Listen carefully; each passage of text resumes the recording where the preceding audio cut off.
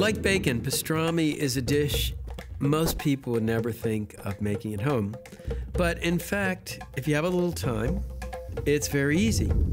The traditional cut of meat for pastrami is beef navel. This is a cut from the underbelly of the steer. It's sort of the beef equivalent of bacon, and you can see the broad striations of fat, meat, fat, and meat. Now prepare the brine. Bring half the water to a boil in a large stock pot. Then add your salt, one teaspoon of pink curing salt, sometimes called Prague powder. It's added as a preservative and it's responsible for the inviting pink color of pastrami.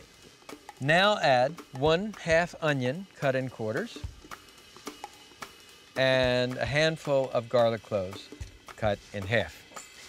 Whisk these ingredients together until the salt dissolves.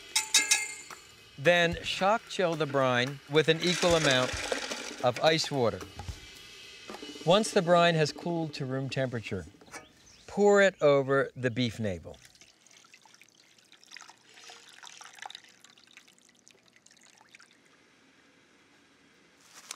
Now cover the beef navel with plastic wrap you can also do this in a heavy-duty resealable plastic bag. And cure the pastrami in the refrigerator for 10 days, turning it over each day.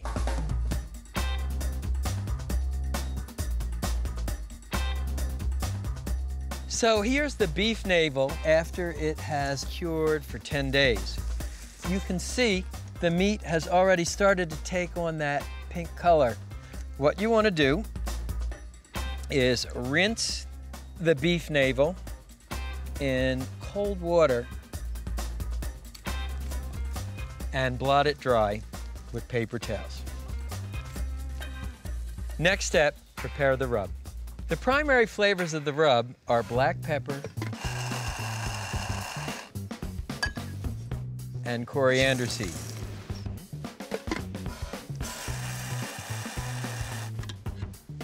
And coarsely grind them. Next, add mustard seeds, brown sugar, and powdered ginger. And mix the ingredients for the rub with your fingers. It's a really interesting combination, the spice of the black pepper, the sweetness of the coriander. It's one of the defining flavors of pastrami. Come back to your dried beef navel. Sprinkle half the rub on the bottom, massaging it into the meat. Then turn the beef navel over and put the remaining rub on the top and on the sides. So you're probably wondering where pastrami got its name. I found out a few years ago at a meat market in Istanbul. I saw long strips of spice-cured meat hanging from the rafters. They called it basturma, and it's popular throughout the Middle East and Turkey. As basturma migrated westward, it took on the name pastrami. To smoke the pastrami, I'm using an electric smoker. Electric smokers are great for long, slow smokes for maintaining a consistent temperature. I've fueled the smoker with apple wood. It comes in the form of these sawdust discs. Simply place them in the hopper. Set the temperature to 225 degrees. Put the pastrami in the smoker. Cooking time, about eight hours. Target internal temperature, 195 degrees. Electric smokers are really as close as you get to set it and forget it type smokers ideal for people who are results oriented. They want smoked food, they enjoy the convenience of turn of a knob heat control and push button fueling and ignition. It's been eight hours and look at that pastrami. It's killer. You always want to check the internal temperature. I'll insert an instant read meat thermometer, 192, 195, we're there. Take out the pastrami.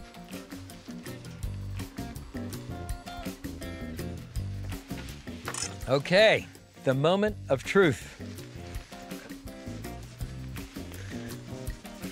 Look at that gorgeous crimson pink color. It slices beautifully. And I suppose we could do a deli classic. Mustard on rye bread. And then we'll lay on some pastrami.